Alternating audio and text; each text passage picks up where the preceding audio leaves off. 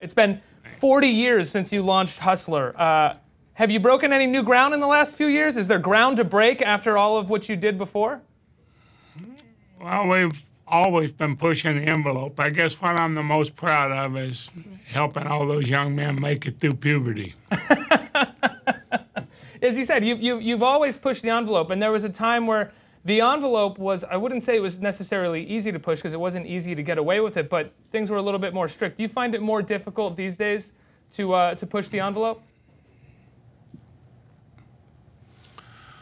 No, I think we've got over the knee jerk attitude that we had towards sex in the 50s and 60s.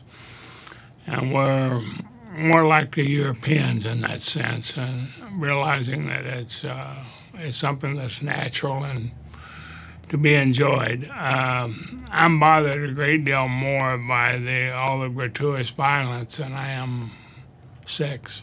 I want to talk about that, the gratuitous violence, but I also am curious. I mean, if you can look back and say that you've changed us to become more European, more liberal-minded when it comes to sex, what's it like to know that you're also probably the man who uh, did most of that, did most of the pushing? Well that's true because um, when Hustler started, uh, no one really knew what a woman looked like. And I think that what we did was let the whole nation know that a woman's vagina had as much personality as her face.